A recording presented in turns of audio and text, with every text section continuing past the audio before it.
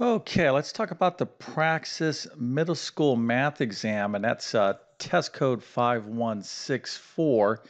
And because you're watching this video, I'm going to assume that you are preparing to take this exam, and that is fantastic, as we definitely need as many uh, great teachers as we possibly can muster in this country.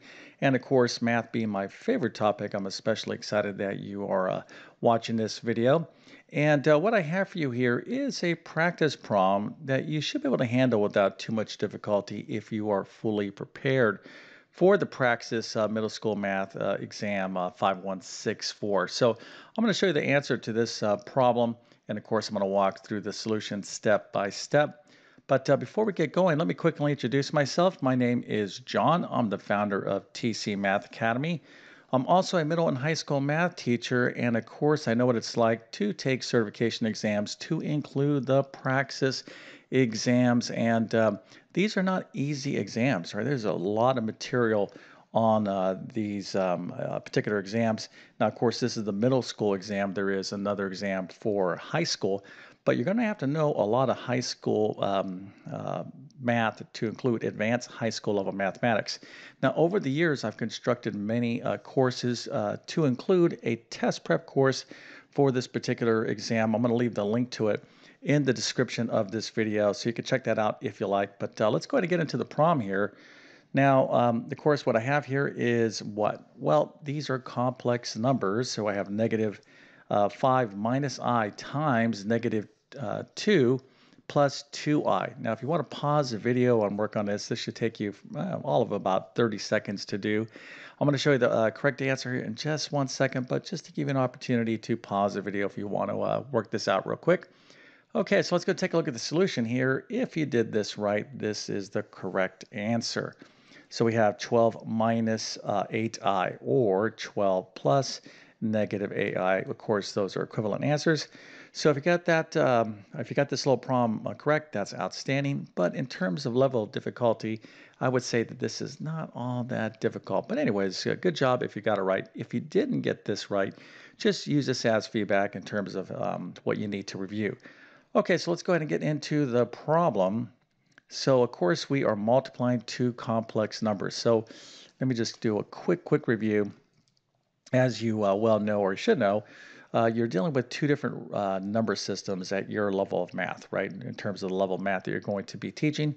So we have the real number system, and then as you get into more advanced mathematics, especially in high school level math, you start uh, working with the complex number system, which of course deals with imaginary numbers. And imaginary numbers are written in the form of a plus bi, where here we have a real number component, and then here we have an imaginary number component. So just a quick review and what we're doing here is multiplying two complex numbers, right?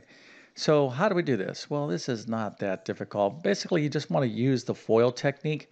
Uh, now, if you uh, forgot what the FOIL technique is, that's just that first, outer, inner, last. But basically, that's just a little acronym to multiply two binomials. Okay, so whether you use FOIL or some other method, it's basically uh, taking the uh, same steps. Okay, so we have a binomial here and a binomial here effectively, and we're going to multiply those binomials. Okay, so let's go ahead and do that right now. I'll just use the FOIL acronym because that's something you'll definitely be teaching, you know, in terms of basic algebra. So the FOIL um, acronym again stands for first, outer, inner, last. So let's go ahead and just show you that real quick. So here I have the first, all right, indicated.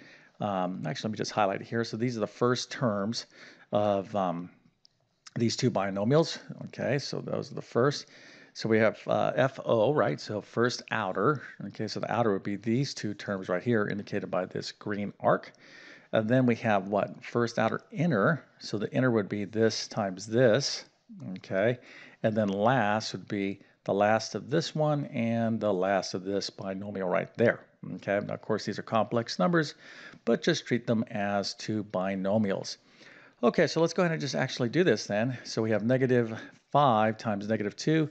So we'll just write this right here for now. Then we're going to uh, go negative 5 times uh, positive 2i is going to be negative 5 times positive 2i. We'll write that there. And then the inner is going to be negative i times negative 2. We'll write that here. And then we have negative i times 2i, so we'll put that right there. Okay, so let's go ahead and start cleaning this up. So we have uh, negative 5 times negative 2, of course, is positive 10. Negative 5 times positive 2i is negative 10i. And then here we have negative i times negative 2. That would be a positive 2i. And then here I have negative i times a positive 2i. That's going to be negative 2i squared.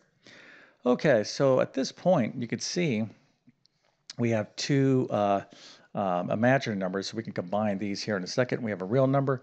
Now we have to figure out what to do with this. Now this is not that difficult.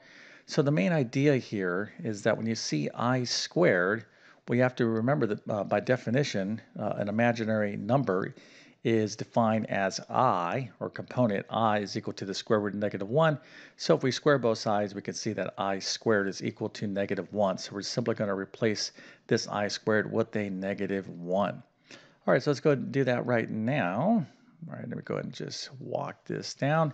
So here is our problem. Matter of fact, let me show you here. I didn't uh, uh, show you this right here. Let me go and combine like terms. We have negative 10i plus 2i gives us negative 8i. Okay, so we're nice and uh, simple as we could be at, up to this point, except for this i squared. Let's go and address that right now. So we have negative 2 times i squared. Again, we're going to um, uh, substitute a negative 1 for i squared. So now that gives us 10 plus negative 8i plus negative 2 times negative 1, which of course is a positive 2. And now we can just simply just clean this up. So we have 10 plus negative 8i plus 2 is 10, and 2, of course, is 12 plus negative 8i. So this is perfectly fine as an answer. Or you could write it this way, 12 minus 8i.